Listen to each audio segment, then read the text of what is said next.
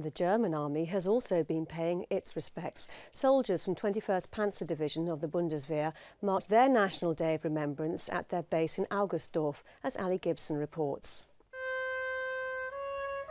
Remembering their fallen.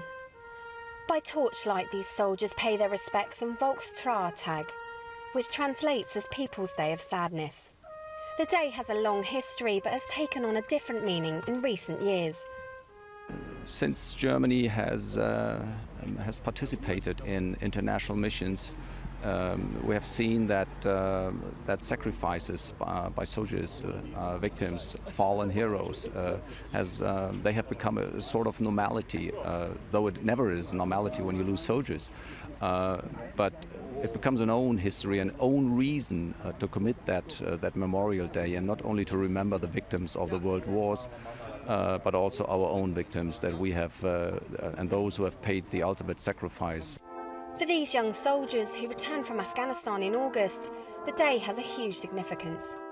Okay, es ist äh, sehr wichtig. Äh, it is very important for us to remember our fallen comrades, the fact that they served their fatherland and did their duty right until the end, which in the end cost them their lives.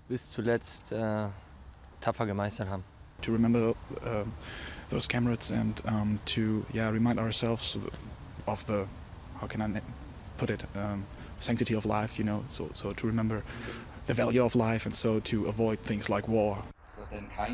For 21st Panzer Division, the ceremony is all the more poignant as they lost one of their own, Alexij Kobelew, in June. He was the first soldier that they've lost in combat since their formation.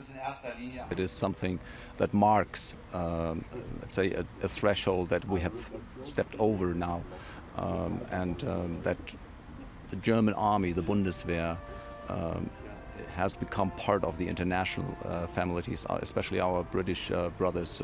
now, currently, our sister brigade, 20th Brigade, is in Afghanistan right now. But death and remembrance is not a matter of numbers, it's not mathematics. When you lose one soldier or you lose 50 soldiers, it doesn't matter, it touches your heart at the bottom.